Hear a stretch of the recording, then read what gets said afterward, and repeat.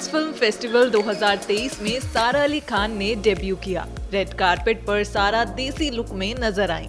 उन्होंने अबू जानी, संदीप खोसला के हाथों से बना आइवरी लहंगा पहना था। उनके इस लुक को किसी ने खूब पसंद किया तो कुछ लोगों को कांस के हिसाब से ये लुक खास पसंद नहीं आया। सारा का लुक सामने आते ही सोशल मीडिया पर लोगों ने उन्हें ट्रोल करना शुरू कर दिया है। एक यूज़र ने कहा कि ये दुल्हन की बहन वाला लुक है तो एक ने पूछ लिया, ये किसके रिसेप्शन में जा रही है? एक यूज़र ने इसे डांडिया लुक बताया तो एक ने तो इस लुक को करण अर्जुन की माँ से ही कंपेयर कर डाला।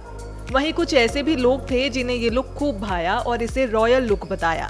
साथ ही कुछ लोगों ने कांस में इंडियन पहनने के लिए सारा को शुक्रिया भी कहा।